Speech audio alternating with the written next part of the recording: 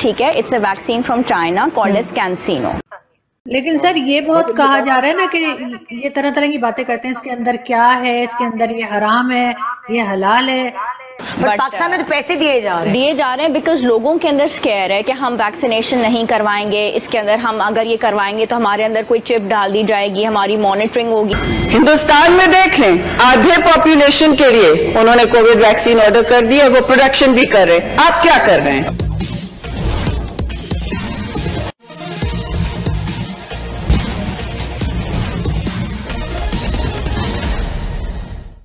Pakistan media में हो रही प्रचर्चा से ऐसा लगता है कि चीन पाकिस्तान को वैक्सीन के नाम पर भी चूना लगा रहा है। दरअसल में जिस वैक्सीन को चीन पाकिस्तान को उपहार में भेजा है, वह ट्रायल के लिए वैक्सीन है, क्योंकि कोई वैक्सीन ट्रायल के समय जब लगाता है, तब उसको पैसे दिए जाते हैं और पाकिस्तान में वैक्सीन लगाने के बाद पैसे दिए जा रहे हैं। सही क्या है? सरकार बता नहीं रही है। लोगों में अजमंजस बना हुआ है, लेकिन एक तथ्य पर अजमंजस नहीं है। वह यह है कि लोग चीनी वैक्सीन नहीं लगा लगाना चाहते हैं और भारतीय वैक्सीन की मांग कर रहे हैं। इस संबंध में कुछ और चर्चा इस वीडियो ब्लॉग के अंतिम भाग में करेंगे। उसके पहले आइए सुनते हैं कि पाकिस्तान मीडिया में इस संबंध में क्या चर्चा हो रही है।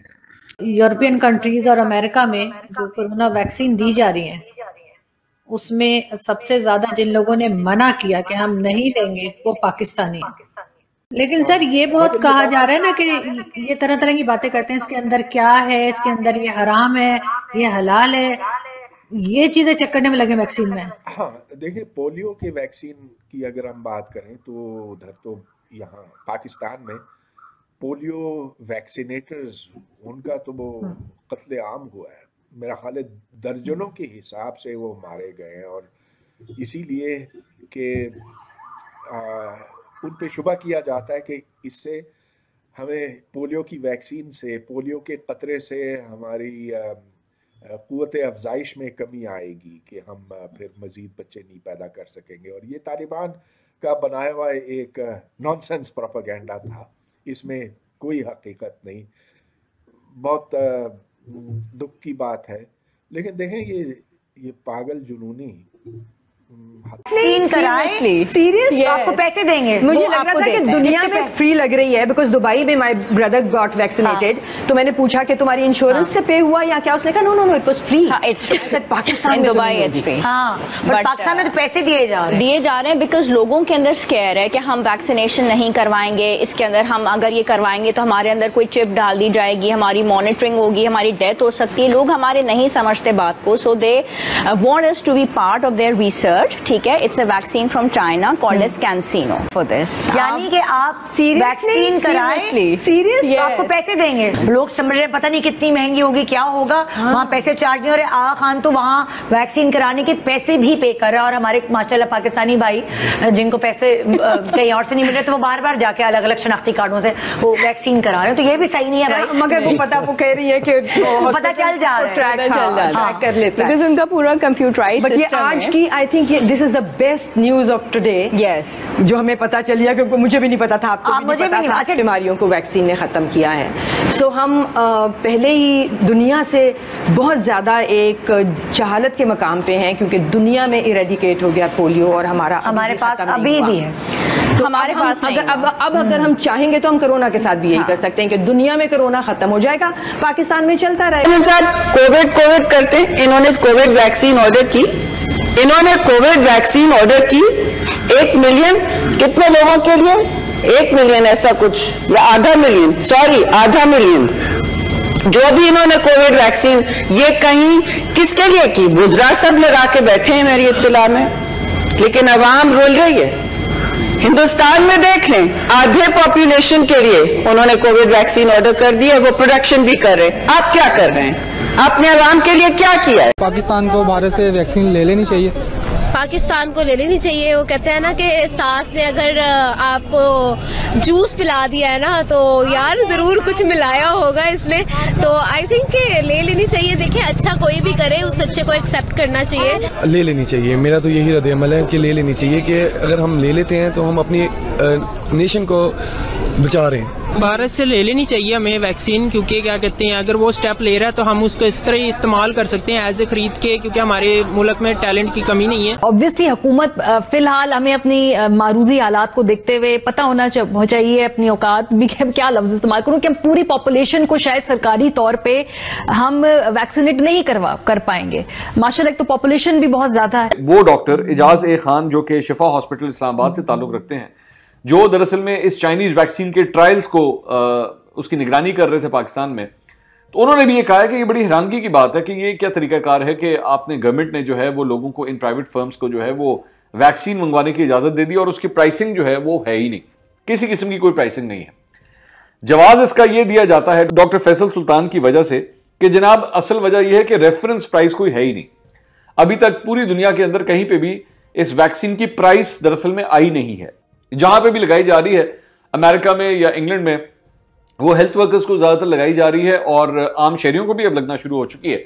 लेकिन उनसे पैसे कोई वसूल किए नहीं जा रहे, इसलिए हमारे पास कोई रेफरेंस प्राइस नहीं है। तो अगर यहाँ पे किसी ने मंगवानी है तो वो सौ दफ़ा मंगवा ले और उसके बाद अपनी मनमानी कीमत चार्ज करे।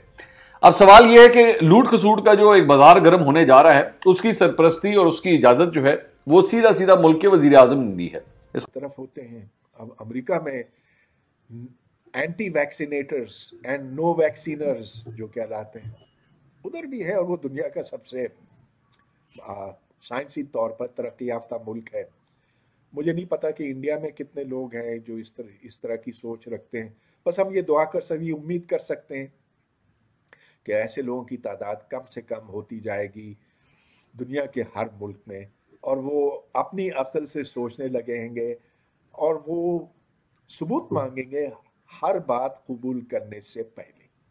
हौसला रखें मैडम शेख। ठीक है। दुनिया कोरोना कोरोना से खुद ही बचना है। ये आप मैं आखिरी आवाम को कहना चाहता हूँ खुद बचना है आपने। एहतियात करनी है। जागते रहना है हकूमत ते नहीं रहना। आप लोगों को ज्ञात ही होगा, भारत विश्व के 60 परसेंट से भी ज़्यादा वैक्सीन के डिमांड को पूरा करते आ रहा है। इस वैश्विक महामारी में जहाँ एक असरदार वैक्सीन का आविष्कार करने के लिए विकसित देश भी जद्दोजहद कर रहे थे, वहीं भारत ने एक नहीं दो दो वैक्सीन का, कोविशील्ड और कोवैक्सीन का आविष्कार करके सबको चौंका दिया है। यही नहीं, पाँच और वैक्सीन भी भारत में निर्माण के अंतिम चरण पर हैं, जिसकी टेस्टिंग का काम चालू है। आप लोगों को यह बताते चलें कि कोविशील्ड को, जहाँ भारत बायोटेक ने ऑक्सफोर्ड यूनिवर्सिटी और एस्ट्रेजेनका, अमेरिका की एक दवा कंपनी के सहयोग से बनाया है। वहीं कोवैक्सीन पूरी तरह से स्वदेशी है, जिसे सीरम इंस्टीट्यूट पूना और India Council of Medical Research ने आपसी सहयोग से बनाया है। यही नहीं, भारत अपने सभी पड़ोसी देशों को, पाकिस्तान को छोड़कर मुफ़्त वैक्सीन उपलब्ध करा रहा है। इसके अलावा भारत ने कल से वाणिज्यिक एक्सपोर्ट का भी काम शुरू कर दिया है, जिसकी पहली खेप ब्राज़ील को भेज दी गई है। आप लोगों को यह बताते चलें कि ब्राज़ील ने चीन से वैक्सीन आयात करने का ठेका दिया था, लेकिन जब चीन की वैक्सीन में बहुत सारे साइड इफेक्ट्स और कम असरदार उसकी वैक्सीन पाई गई तो ब्राज़ील ने चीन से ठेका रद्द करके भारत को ठेका दिया है। और इस खबर के बाहर आते ही ब्राज़ील सहित कई देशों का भारत से वैक्सीन लेने का तांता लग गया है। भारत के इस प्रशंसनीय कार्य को देखते हुए डब्ल्यू के डायरेक्टर जनरल, अमेरिका के सुप्रसिद्ध उद्योगपति बिल गेट्स, अमेरिका के फॉरेन अफेयर्स कमेटी के चेयरमैन जॉर्ज निके, ब्राज़ील के राष्ट्रपति सभी ने प्रशंसा किया है। चीन अब भी अपनी हरकतों से बाज नहीं आ रहा है। नॉर्वे में जब कुछ लोगों की मौत हुई तब चीन ने उसे यूके निर्मित फाइजर के वैक्सीन के टीकाकरण से जोड़ दिया, क्योंकि उन लोगों को पहले यह वैक्सीन दी जा चुकी थी।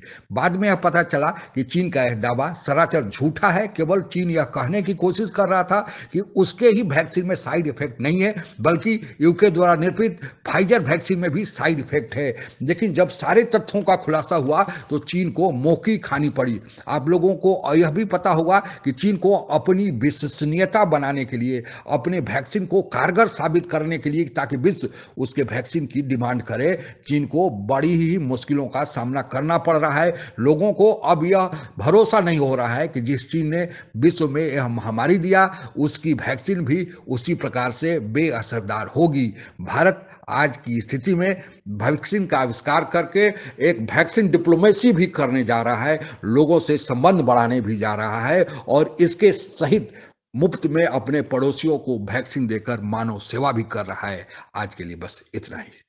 आप अगर हमसे जुड़ा रहना चाहते हैं तो कृपया मेरे चैनल को सब्सक्राइब करें तथा बेल आइकन भी दबा दें ताकि नई वीडियो की जानकारी तुरंत आप तक पहुँच जाए। धन्यवाद। जय हिंद।